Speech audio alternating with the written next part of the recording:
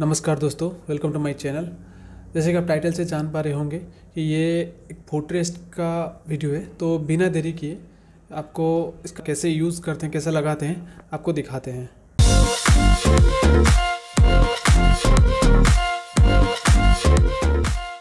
ये आया है दोस्त, ये प्रोडक्ट ये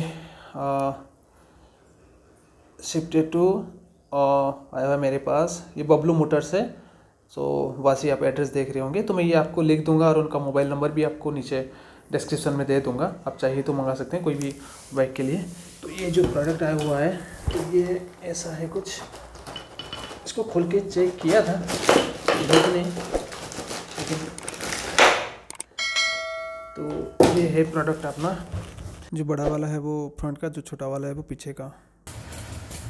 और जो हम करेंगे इसको, पहले काट देंगे, जो ग्रिप लगा हुआ है, पहले से स्टॉक में आता है, वो काट देना है, जो फ्रंट के लिए है, वो पूरा का पूरा काटना पड़ेगा। और नीचे से उसका स्क्रू है, और जो हम मंगाते हैं, जिधर से ये फोटरेस्ट मंगाएँगे, वो ऑलरेडी उसी स्क्रू के साथ दिया हुआ रहता है तो एडिशनल हमें ख़रीदना नहीं पड़ेगा। तो वो स्क्रू के साथ ऑलरेडी दिया हुआ है, हमें जस्ट बस वो ग्रीप को दोनों साइड से काटना है, काट के स्क्रू को अच्छे से टाइट कर देना है। और ये अपने आप एंगल ठीक बैठ जाता है। ऐसे नहीं कि उसका कुछ करना पड़ता है। इसका जो एंगल है थोड़ा सा आगे की तरफ़ ऊपर और नीचे, पीछे की तरफ़, थोड़ा नीचे होकर रहता है। जो क्रूजिंग जब करते हैं, थोड़ा अच्छा लगता है कंफर्टेबल लगता है। और लेफ़्ट साइड में भी वैसे ही काट देना है करना है। लेकिन हाँ एक प्रॉब्लम आपको थोड़ा इसमें आएगा कि राइट साइड में जब ब्रेक लगाते हैं, वो तो ठीक से लग जाएगा, कोई प्रॉब्लम नहीं होगा। लेकिन जब हम फ्रंट से लेफ़्ट साइड से जब से गियर से गियर शिफ्ट करते हैं ऊपर से तो दबा देते हैं, लेकिन हम फ्रंट के जो सामने से ऊपर से ऐसे पैर नीचे करके उधर से उठा देते हैं लीवर गियर लीवर को तो वो प्रॉब्लम होता है। वो किसमें प्रॉब्लम होता है? नॉर्मल शोज़ में नहीं होता है स्पोर्ट्स शोज़ वगैरह में नहीं होता है। जैसे राइडिंग शो वगैरह पहनते हैं, थोड़ा उसका सोल बहुत मोटा होता है राइडिंग जो राइडिंग शोज़ होते हैं तो उसमें प्रॉब्लम होता है। उसके लिए हमें अगर ये लगा रहे हैं तो प्रैक्टिस करना पड़ेगा, जो पीछे की तरफ़ गियर लीवर है, जब पीछे लेना है, पीछे गियर लीवर करना है तो पीछे का करें। और आगे की तरफ़ आगे करें, ऐसा है।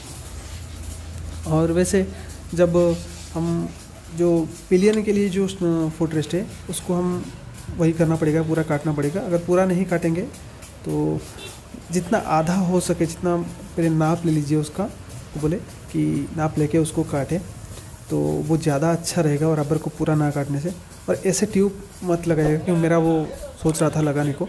तो वो एक्चुअली लग के टाइट नहीं होगा इससे क्योंकि उसका जो ऑलरेडी उन्होंने जो दिया है तो उसके नाप से ही दिया हुआ है। जैसे इसका जो एरिया है, इस चीज़ का आप देख रहे हैं तो इसके हिसाब से वो जो स्टॉक का रड है, उसी हिसाब से ये मोटा ही है उसका, जहाँ पे वो उसके बैठ बैठ पाएगा वो। तो अगर आप पूरा नहीं काटेंगे, जितना नाप करके काटेंगे तो ज़्यादा अच्छा रहेगा, लेकिन मेरे को थोड़ा आइडिया नहीं था तो मैंने पूरा कटवा दिया, इसको जो गलत हुआ थोड़ा।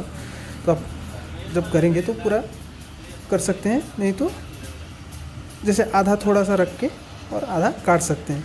तो ये बहुत टाइट होके बैठेगा उधर। और इसका स्क्रू नीचे से एक प्लेट दिया हुआ रहता है, इस वाले के लिए, पीछे वाले के लिए पिलियन के लिए। तो पिलियन वाला थोड़ा छोटा है। फ्रंट वाले के लिए थोड़ा अच्छा है जो राइडिंग करेगा। तो उसके लिए थोड़ा बड़ा है। तो अच्छा पैर रहता है। छोटा पिलियन के लिए भी इतना छोटा भी नहीं है कि प्रॉब्लम होगा। अच्छा है, पिलियन के लिए भी लगा दे तो अच्छा भी होगा। और, इसका जो इनका शॉप का नाम और मोबाइल नंबर मैं आपको एड्रेस नीचे दे दूँगा, आप उनको कॉल करके मंगा सकते हैं। ये ऑल ओवर इंडिया में देते हैं, पहले कैश ले मतलब ले लेते हैं पहले एडवांस लेते हैं उसी में देते हैं, पूरा का पूरा पैसा लेते हैं। और सात आठ दिन लगता है, सात आठ दिन, दस दिन लग जाता है, मेरे को आने मेरे को सात आठ दस दिन में पहुँच गया था ये मेरा। कोई प्रॉब्लम नहीं हुआ। ट्रस्ट करके हमको उनको कर सकते हैं। ऐसे कुछ नहीं। तो आपको मॉडल नंबर बताना पड़ेगा। हो सकता है भी शायद और कोई गाड़ी के लिए वो दे रहे हो। आप पूछ लीजिएगा अगर आपका कोई दूसरा गाड़ी है। लेकिन हम आवेंजर के लिए ये इनके पास है। तो आप कोई भी मॉडल नंबर बताएँगे तो ये दे देते हैं। तो ये चलाने में बहुत ईजी रहता है। तो thanks for watching this video और आपको अगर अच्छा लगे तो आप लाइक सब्सक्राइब और शेयर कीजिए दोस्तों के साथ और घंटे का आइकन भी दबा दीजिए।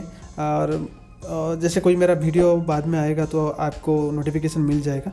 और सब्सक्राइब ज़रूर कर लीजिए क्योंकि थोड़ा सपोर्ट कीजिए। नया नया अभी मैं कर रहा हूँ। थोड़ा सपोर्ट करिए।